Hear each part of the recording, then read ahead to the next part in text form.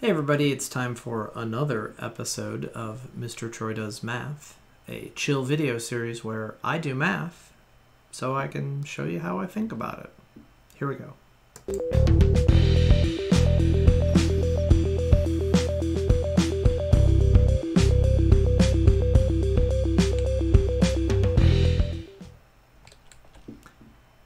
Alright, I've got a problem type called Determine Features of Polynomial Graphs. Remember, I haven't looked at these problems.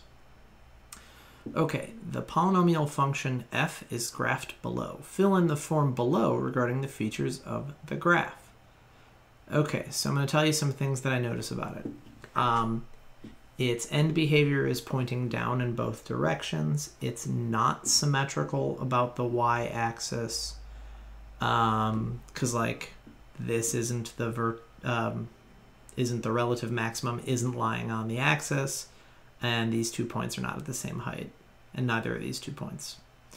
Um, it would have a negative leading coefficient. Oh, well here, the degree is even because the ends are pointing in the same direction. And the leading coefficient is negative because the right end is going downwards.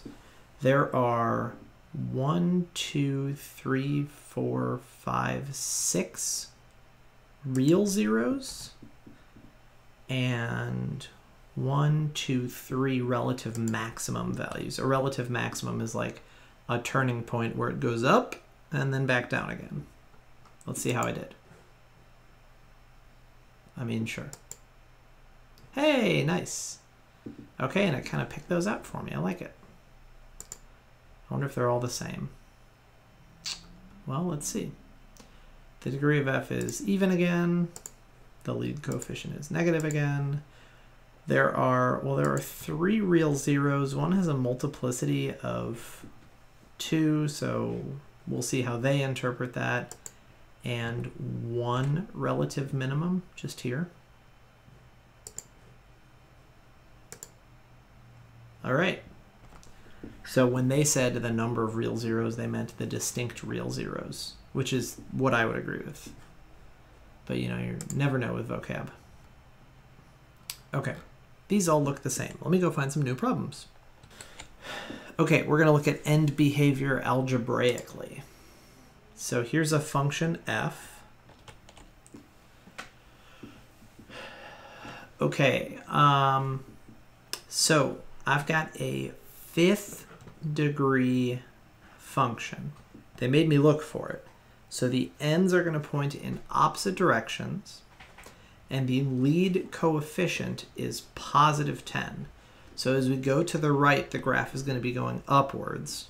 Well, upwards. So as x approaches infinity, now they put this backwards. So as x approaches infinity, y approaches infinity. And as x approaches negative infinity, y approaches negative infinity. I'm a little nervous about this because I find all of this very hard to read, but we'll see how I did. Now, how am I supposed to read that? Come on, guys. This is supposed to be a chill video series. Don't stress me out. Okay, good. So this is really all you have to think about. Ooh, I like this. Okay, so same as x cubed. Arrow goes right and up, arrow goes left and down. Actual graph, FYI. You don't actually need to see this. This is great. Okay, I had to click through for a little bit, but I found one that was different. Um, the function f of x is defined below. What is the end behavior? So I've got a highest power of 4. So my ends are going to point in the same direction. So I'm looking for something that's either infinity, infinity, or negative infinity, negative infinity. I don't want opposites here. So as x goes to the positives, y should be going to the negatives. And as x goes to the negatives, y should be going to the negatives. Let's see if that's it. All right, cool. So this has the same end behavior of negative x squared. I like that. Okay, same degree and leading coefficient. Same type of degree, even, and leading coefficient negative. All right, I think that's as good a place as any to end. This is a short one. Um, oh, I get it. It's like his background. What do you know?